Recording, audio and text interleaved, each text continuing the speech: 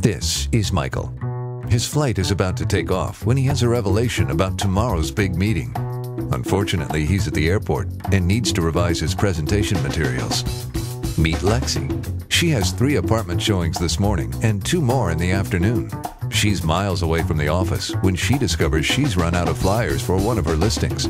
With the new mobile print center app from OfficeMax Impress, you're able to get documents printed directly from your iPhone or Android mobile device at any Office Max location nationwide. The Office Max Mobile Print Center app is free and easy to use. You can upload files from your mobile phone, email, or Google Docs.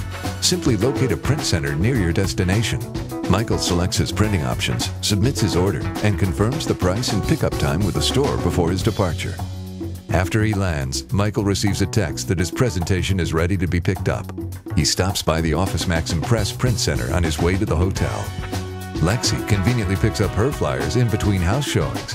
Her mobile print job put her back on schedule. OfficeMax's new mobile print center app was designed for today's highly mobile world, helping with all your printing needs wherever you are.